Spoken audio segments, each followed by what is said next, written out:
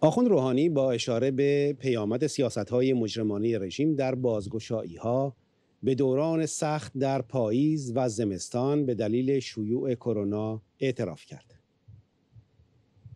و انشاءالله ما بتونیم در این دوران بسیار سختی که امسال پیش رو داریم امیدوارم خداوند ما رو در فصل پاییز که نزدیک هستیم به این فصل و فصل زمستان ما رو یاری بکنه در کنار